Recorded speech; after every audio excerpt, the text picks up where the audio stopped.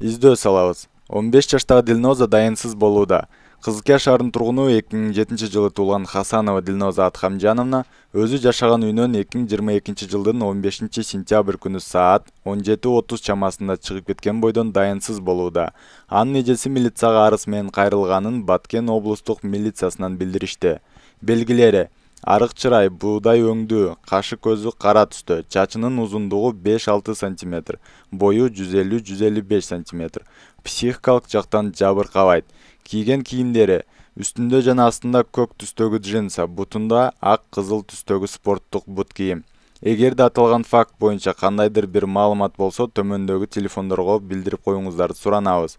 Жүз эки жана ошондой эле ноль үч алты жүз элүү жети беш ноль төрт жыйырма ноль үч алты жүз жыйырма эки беш ноль бир жыйырма төрт ноль жети жүз жетимиш тогуз сексен бир сексен бир отуз бир